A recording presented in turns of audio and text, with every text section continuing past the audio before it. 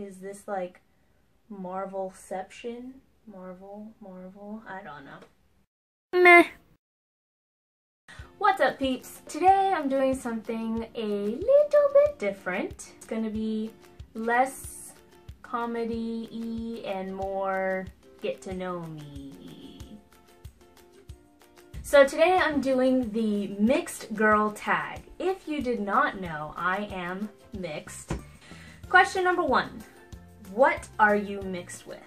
I am mixed with Korean and African American. My father is black and my mom is Korean. Question number two. What ethnicity have you often been mistaken for?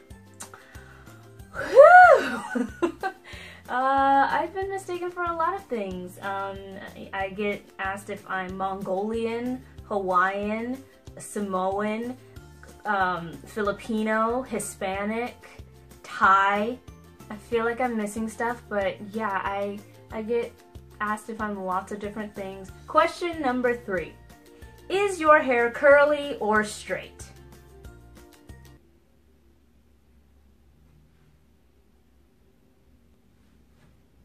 To be fair though, uh, my hair was straight for like 15 years. Um, if I can, I might I might put pictures in here somewhere to show indicate I don't know where that's why I'm like pointing everywhere um, to show what my hair was like when it was straight. But yeah literally for like 15 years my hair was straight. There's probably a lot of people that really didn't know. When I did finally go natural again a lot of people were like oh my gosh you permed your hair! I'm like no no no no. I finally took the perm out of my hair actually is what is what happens. My hair is naturally curly and I love it. Question number four. Was coming from different backgrounds challenging growing up? A, a little bit, yeah. I feel like everyone when they're a teenager, or when they're in middle school or growing up, they're trying to find their place. And sometimes it's hard to find your place when you're two different people, I guess. You know, you've got some people telling you, oh, you're not black enough, or, or you're not Asian enough, or what's, what's wrong with you? Like, how come you don't know how to be, blah? And it's like, I'm sorry, I didn't realize that there was like an outline or layout of how I'm supposed to act because I'm a certain race. I'm just me, and me is a black and Korean woman, and that's it. Like it like it doesn't matter what I do because what I do is black or is Asian because I am those things and I'm doing it. Question number 5. Which background do you embrace the most? I actually don't like this question because I get asked it a lot. People are like, oh, what do you relate more with? Do you relate more with black or Korean? And I know that there are people out there that think they know the answer. They'll be like, oh, she definitely relates with Asians more because that's who I hang out with or it's who I hung out with in college. And so I'm sure a lot of people will say, oh, she, she embraces or she relates to Asians more.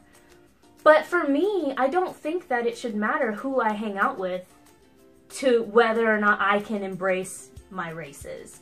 I don't feel like just because I hang out with Asian people, that means I don't embrace my black side or my black race. I do. I am black and I am Korean. Like, I am both.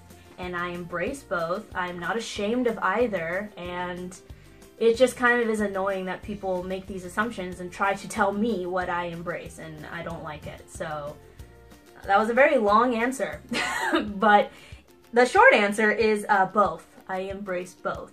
Question number six. Have you ever been teased for being different? Yeah, I've been teased. I've been told, you know, that I had the chinky eyes. I know I have small eyes. I have Asian eyes. Like, that's, it just is.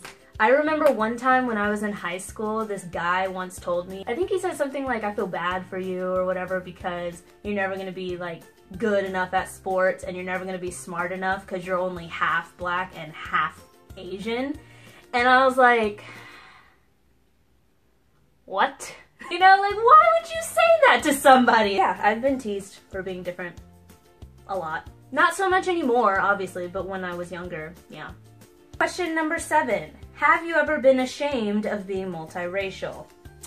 I'm not ashamed now. I'm very, very, very proud to be black and Korean. Um, but when I was younger, yes, I I was ashamed because, but it was more so because um, I hung out with a lot of white people and a lot of guys that I had crushes on were white and I pretty much was told by various different means that, you know, I couldn't be with a white person because I'm not white. And it sucks. But yeah, so during those times, I would be ashamed, but not so much ashamed that I was black and Korean, just ashamed that like I wasn't white.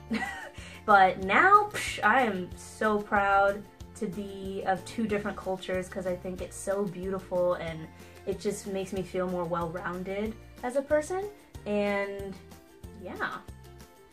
Next question. Question number eight. Do you feel that being mixed has its benefits? Um, yeah, for sure. I think that it definitely has its benefits for opening your eyes, I think. Seeing things differently. I think you just have different perspective of things because you are two different um, backgrounds. Question number nine. What makes being multiracial a beautiful thing? I think just being able to understand acceptance is beautiful. I grew up in an interracial relationship, a house that celebrated interracial relationships, and it makes me feel more like I'm more accepting of other people. Um, what, what regardless of the race that they are because you know that's how I was raised. So I think that that's what makes it so beautiful, just that idea of acceptance no matter what. And final question, question number 10. Any advice to someone who struggles with their multiracial identity? Well, I say this in a lot of my videos, but you're beautiful, you're amazing, and you should be proud that you get to have this, these different cultures living right inside of you. I really don't have anything that's like brand new information. I don't have that. So um, it's pretty much the cliche. Just if you're struggling with multiracial identity, um, the only way that you're really going to be able to get better is to accept yourself. It's hard when people are making fun of you or telling you that you suck or telling you you're not good enough or telling you all these negative things. It's really, really hard and the last thing you want to hear is someone being like, accept yourself. Like, thanks, bro. Didn't figure that out on my own. But that's the thing, like, it, that really is what it's all about. The only way that you can not struggle with your identity is you have to accept it. You have to love yourself. You have to realize that you're amazing. And then you can move on from there. So, from me to you, you're awesome. You're amazing. You're beautiful keep doing you, accept yourself, love yourself. I accept you, I love you, and yeah, that's it. I hope you enjoyed my mixed girl tag. That's all the questions I have for you. Yeah, honestly, in the end, I, I love being mixed. I think it's so cool. Thank you, mom and dad, for showing me beautiful love. I think that's all I have to say. Give it a thumbs up if you enjoyed it. Um, sorry it wasn't like my usual. It was a little bit more personal. I don't usually like to open up to people, but I felt like this wasn't so bad. Comment, subscribe if you haven't already. I make new videos every Sunday. And yeah, 감사합니다. Just keeping it real.